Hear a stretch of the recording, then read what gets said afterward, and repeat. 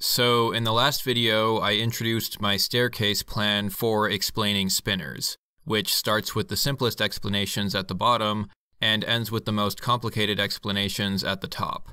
We're going to start at the bottom of the staircase, which is basic examples of spinors in physics.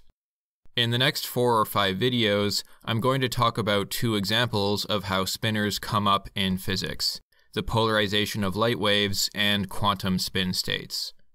We're going to find that both of these phenomena can be described by spinors in the form of 2 by 1 columns with complex number entries. Afterward, we'll see how we can visualize these spinors as flagpoles on a sphere, called the Poincare sphere or Bloch sphere. In this video, we're going to discuss all the different polarizations of light waves and their corresponding spinors, which are called Jones vectors in this specific case.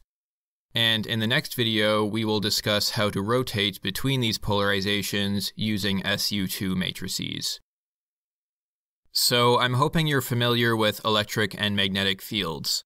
The electric field is a set of vectors everywhere in space that point in the direction that a positive charge will be pulled in due to electric forces. The magnetic field is another set of vectors everywhere in space that tell us which direction a compass will point due to magnetic forces.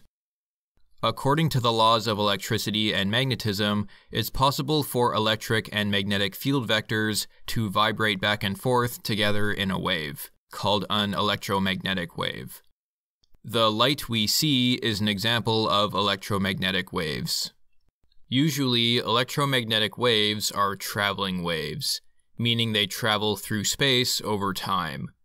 The image you're seeing here is a snapshot of an electromagnetic wave at a single instant in time. But as time passes by, the wave will travel forward. Electromagnetic waves are transverse waves, this means the direction of the wave oscillations is always perpendicular to the direction of travel. So, if an electromagnetic wave is traveling in the z direction, the wave can oscillate in the xy plane perpendicular to the direction of travel, but the wave cannot oscillate in the z direction, parallel to the direction of travel. The polarization of a given electromagnetic wave is the geometric orientation of the wave. We only use the electric field E to define the polarization of an electromagnetic wave, so we ignore the magnetic field when talking about polarization. Let's look at an electromagnetic wave propagating in the z direction. Again, here we're looking at a snapshot of a traveling wave at one instant in time. When the electric field oscillates up and down along the y-axis, we call this vertical polarization. If we rotate this wave by a quarter turn, it is now oscillating left and right along the x-axis, and we call this horizontal polarization. If we rotate the wave by another quarter turn, we end up with vertical polarization again, although with the wave shifted by a half cycle compared to the original wave. Let's look more closely at a vertically polarized wave. Remember, the electric field is a vector field, meaning it is represented as an arrow at every point in space and time. The arrow has components in the x, y, and z directions, which we can write like this, using a linear combination of the x, y, z basis vectors. We can also write this as a three component column like this.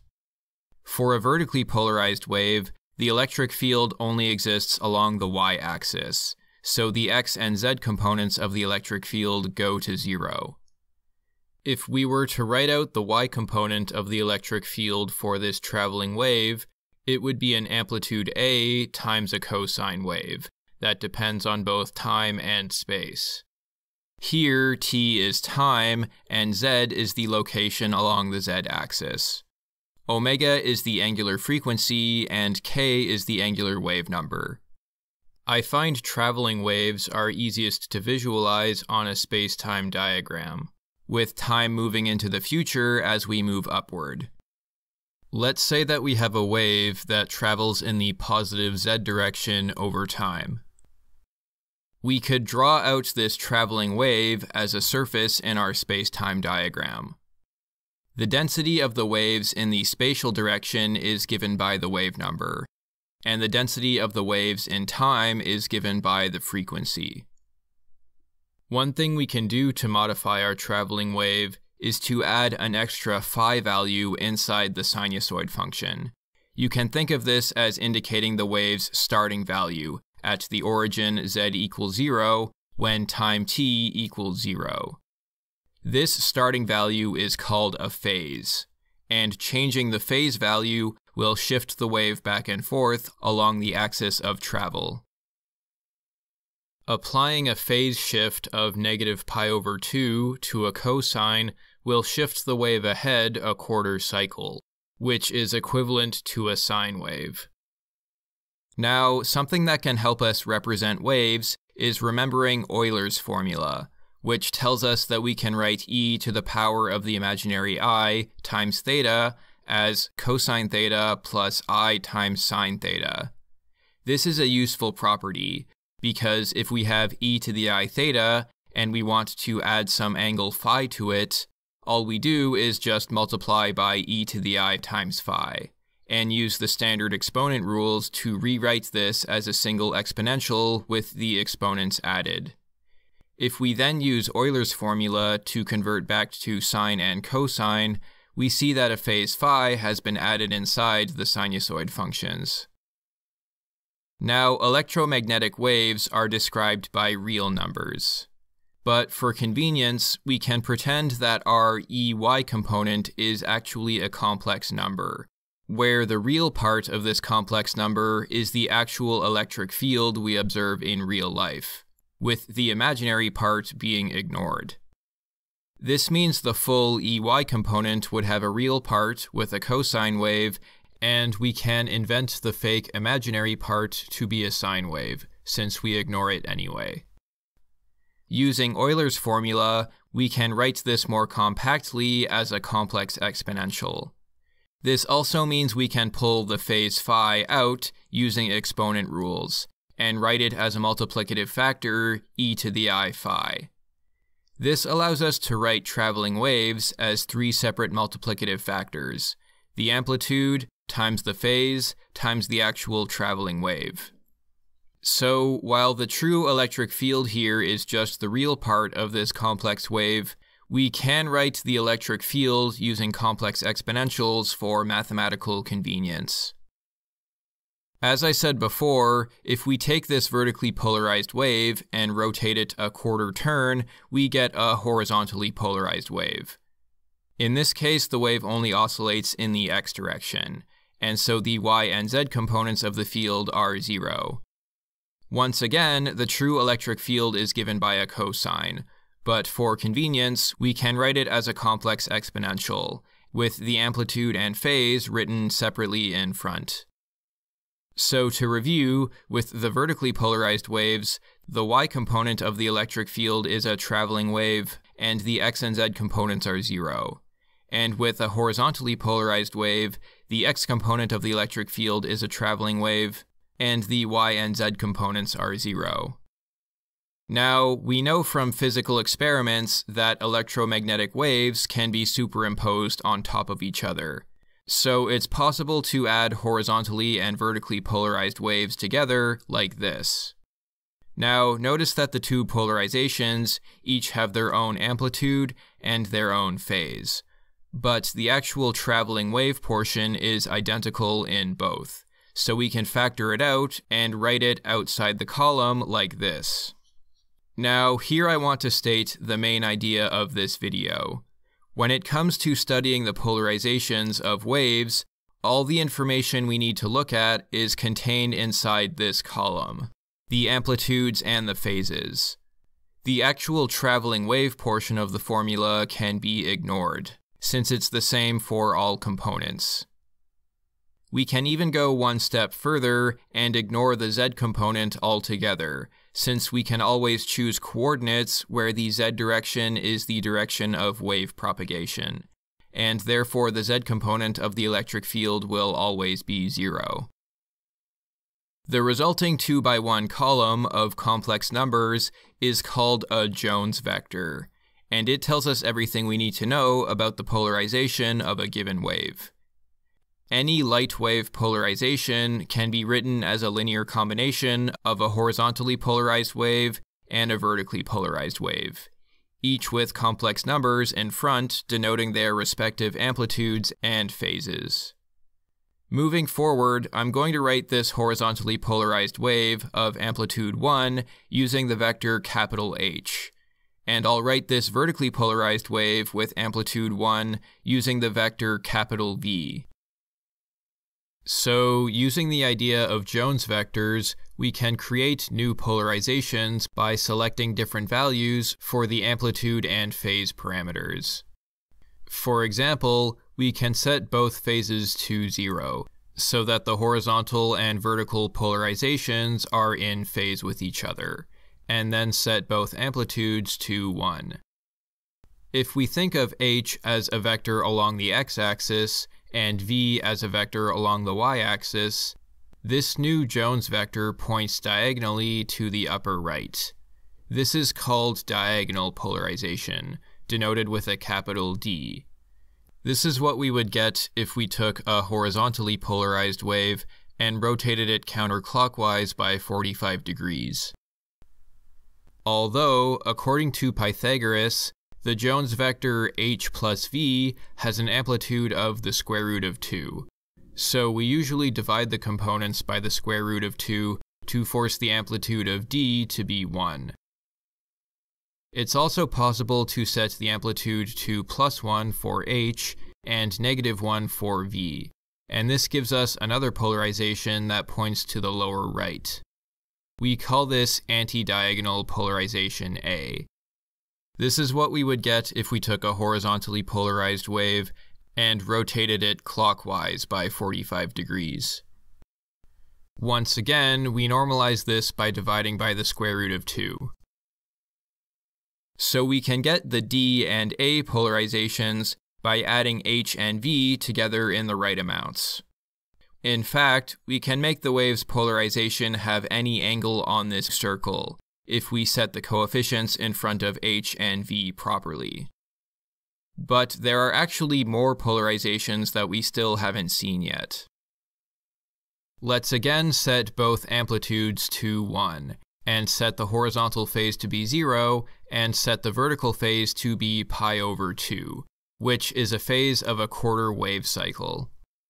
This polarization is more difficult to visualize, so let's bring back our column notation with the traveling wave to understand it better.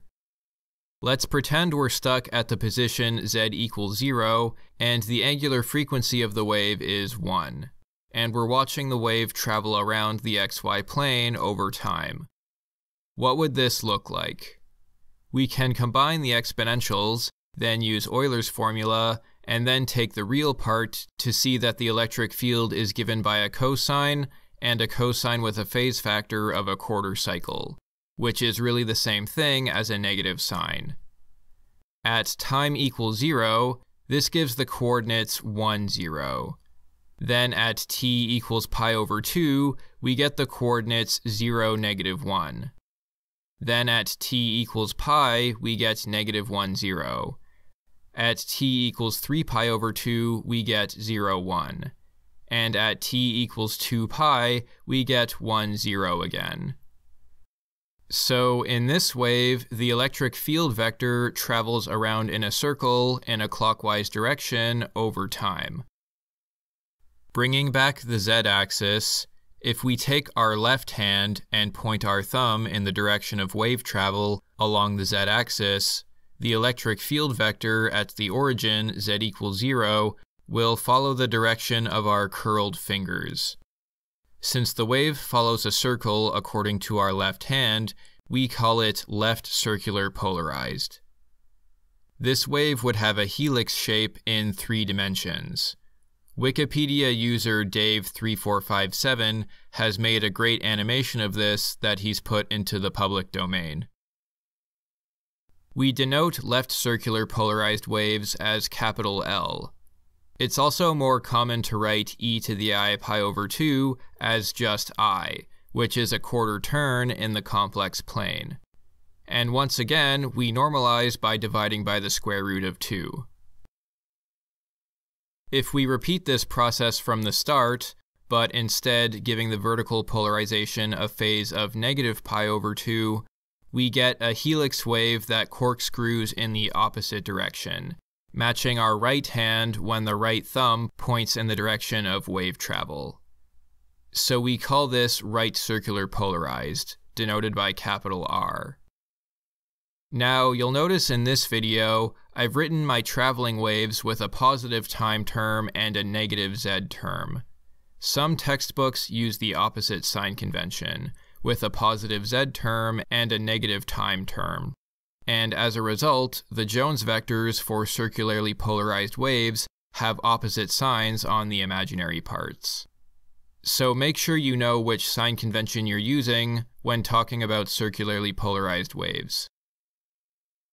So, to summarize this video, we initially discovered the Jones vectors h and v, which represent horizontally and vertically polarized traveling waves.